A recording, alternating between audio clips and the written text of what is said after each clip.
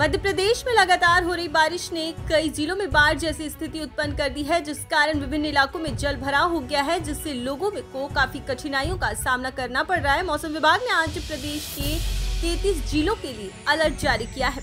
भोपाल, ग्वालियर, सागर, छिंदवाड़ा और जबलपुर समेत कई जिलों में तेज बारिश की संभावना जताई गई है। तेज बारिश के कारण कई नदियाँ और नाले उफान पर हैं और बांधों का जलस्तर भी बढ़ गया है।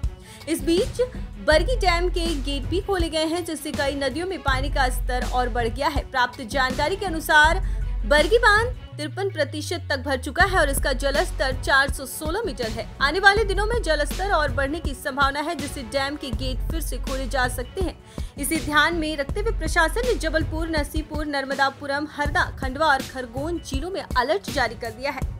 मौसम विभाग ने आज मध्य प्रदेश के तेईस जिलों में भारी बारिश की संभावना जताई है और अगले 24 घंटे के लिए येलो अलर्ट जारी किया है। इन जिलों में भोपाल, विदिशा, राजगढ़, बैतूल, हरदा, बुरहानपुर, रतलाम, देवास गुणा शिवपुरी, ग्वालियर, मुरैना, सीधी सतना, सहडौल, उमरिया, कटनी, जबलपुर, नरसिंहपुर, मंडला, दामोह, छतरपुर और मेहर शामिल है। इसके अलावा दस जिलों में अति भारी बारिश का ऑरेंज अलर्ट जारी किया है। इन जिलों में सीहोर, रायसेन, नर्मदापुरम, श्योपुर, छिंदवाड़ा, सिवनी, बालाघाट, पन्ना सागर और पांडुरनाथ शामिल है।